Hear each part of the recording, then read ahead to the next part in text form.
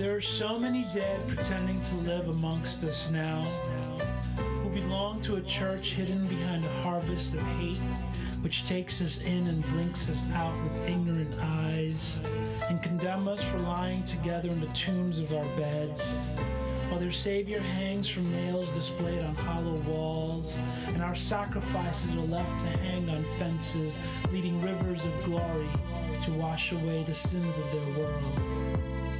This prejudice is the pain that clouds my eyes and knots my spine, scars on the back of my head, engraved by those who reach out open arms, bloodied with hypocrisy, lost dreams, and intangible mantras. Those who haunt our daily prayers with the sounds of oppression, to silence our shepherds with death,